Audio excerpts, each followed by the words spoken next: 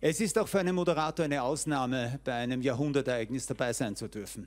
Und wahrlich, es ist ein Jahrhundertereignis. Zahlen sprechen für sich. Vielen Dank. Wir sind Kari Kari aus Mörbisch am See und wir freuen uns wirklich sehr, dass wir heute bei diesem historischen Ereignis dabei sein können.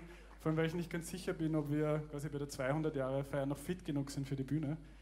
Aber ja, in jedem Fall ist es wirklich ein sehr schöner Anlass und möchte mich bei allen bedanken. Aber ich möchte auch trotzdem was sagen. Ich habe nämlich vor mit vielen Musikern geredet, die heute auch spielen und auch im Orchester. Und es ist mir so ein bisschen ein Herzenanliegen, dass ich was dazu sage, weil ich habe mitbekommen, dass die Damen und Herren da drüben im Orchester, die bekommen heute gleich 30 Euro pro Abend fürs Spielen. Und das finde ich in einem Kulturland, äh, Burgenland, bei 100 Jahre Burgenland, bei einem sozialdemokratischen Land, finde ich das beschämend. Und ich finde es besonders beschämend nach Corona. Und ich finde es noch beschämender, wenn man gleichzeitig weiß, dass in Corona genug Geld dafür da ist, dass es zwei Intendanten bei der Seefeldspiel Mörbisch gibt. Und das. Ja. Und ich finde, da geht es ein bisschen um, äh, um, Anerkennung und wir alle auch. Der, es sind halt wirklich Weltstars da. Also der Christian Kolonowitsch, es ist so eine Ehre, da zu spielen. Opus, Brui und, und alle sind total unterbezahlt und spielen für ein sprichwörtliches Butterbrot weil es alle wir stolze Burgenländer sind und wir wollen Teil davon sein, dass wir das Burgenland repräsentieren. Und ich, wir haben eigentlich wollten absagen, aber Christian Kolonisch hat zu mir gesagt, na dann sag halt was. und deswegen sind wir heute da und ich wollte nur sagen, als, nur als Referenzrahmen, wir haben, einen, wir haben eine Tournee gespielt in Albanien und wir haben in Albanien mehr Gage bekommen als heute. Wir haben letztes Jahr in Vorarlberg gespielt, wo wir überhaupt keinen Bezug haben und haben die zehnfache Gage bekommen von dem, was wir heute angeboten haben. Und das ist aber kein Problem, weil wir machen sehr gern fürs Burgenland. Aber wie ich dann das gehört habe von den 30 Euro, da habe ich mir echt gedacht, äh, es liegt mir so am Herzen, es tut mir auch leid, wenn ich jetzt so ein bisschen den Rahmen unterbreche, aber ich wollte es einfach gesagt haben, einfach, dass das ein bisschen einen Kontext gibt. Und ich glaube, wenn wir in Kulturland Burgenland sind, dann finde ich, sollte man das auch die Künstler würdigen. Und da geht es gar nicht um jetzt Kulturförderung, so weit gehe ich gar nicht, sondern da geht es darum, dass man das zahlt, was jeder Kulturverein, jeder Veranstalter in Albanien ohne Förderung auch bezahlt. Und, ja, und dann quasi. Entschuldigung, Entschuldigung bitte. Mit eurem Respekt. Sie haben eine falsche Information. Jeder Musiker in Mörbisch bekommt 140 Euro pro Abend. Nicht in Mörbisch, heute. Ich habe verstanden Mörbisch. Nein, nein, nein. Hat nichts mit Mörbisch zu tun. Okay. okay. Tut mir leid. Aber ich glaube, dass diese Zahl nicht stimmt. Oh ja, also ich habe es gefragt vorher, also das ist, ich habe es überprüft. Aber es ist wurscht, ich will jetzt auch quasi, ich will jetzt niemanden den Abend... Das ist nicht wurscht. Sie machen ja vor halt, Sie machen Vorwürfe, die sicher auch andere Gründe haben. Nein, überhaupt Vielleicht nicht. sind diese Gagen auch aufgeteilt äh, auf die Bands und die entscheiden dann, wie es weitergeht. Bitte? Sie bekommen 30 Euro pro Abend? Nein, nein, aber wir, ich, hab, ich wollte jetzt quasi stellvertretend sprechen für alle Musiker, die heute da sind. Und ich glaube, das ist. Aber wissen Sie, Sie stellen dann ein System hin als Verbrecher. Wir haben zwei Intendanten. Nein. Wir haben nicht zwei Intendanten, wir haben einen künstlerischen Leiter und einen Intendanten. Und das ist ein Unterschied für drei Festivals. Ich möchte schon, dass man auch wirklich anerkennt, dass auch andere Menschen arbeiten. Und ich ja. bin von der Bühne und ich weiß auch, was wir jetzt gerade erleben auf der Bühne mit Unterstellungen. Und ich bitte Sie, vorsichtig zu sein, weil es die oben sind immer die Verbrecher. Und das ist aber nicht so, mein Lieber. Herr Heider, also Nein, es muss man mal laut sagen, es tut mir leid. Gut. Es tut mir leid, wenn Sie sich persönlich angegriffen fühlen. ich persönlich wollte nur angegriffen. etwas dazu sagen. Ich bin nicht persönlich angegriffen. Ja.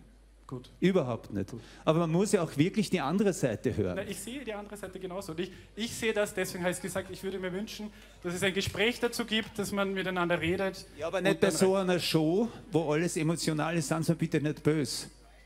Wir spielen weiter. Vielen Dank. Ich danke Ihnen.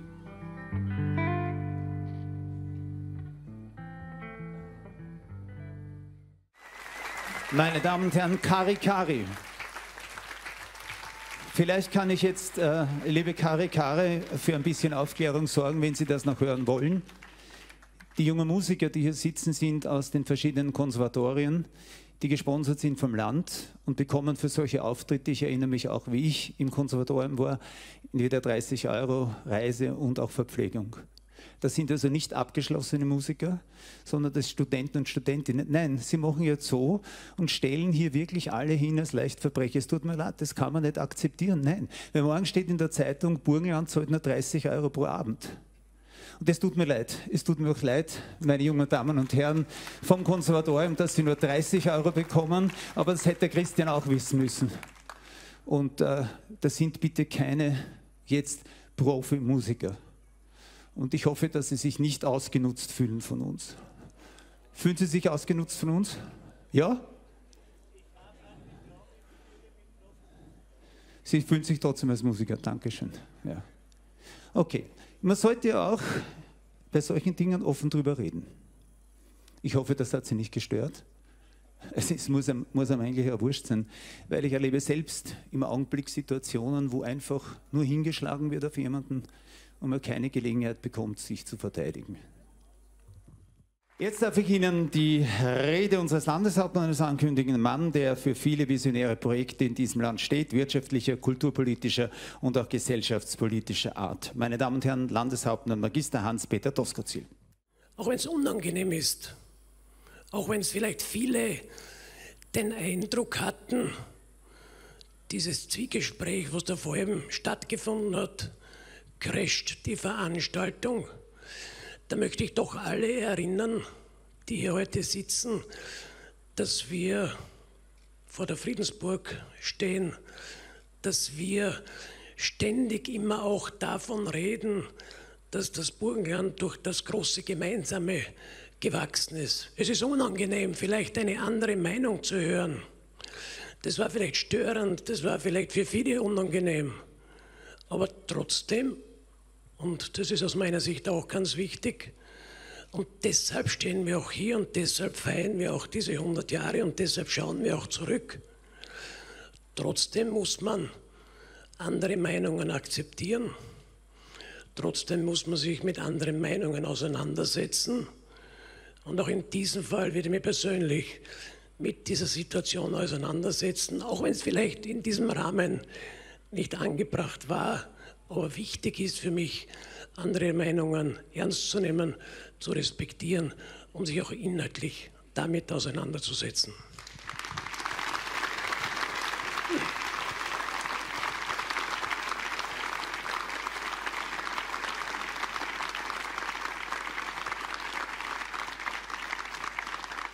Dankeschön. Kompliment, ich fahre jetzt dorthin, wo ich hingehöre, auf die Bühne nach Mörbisch. Servus.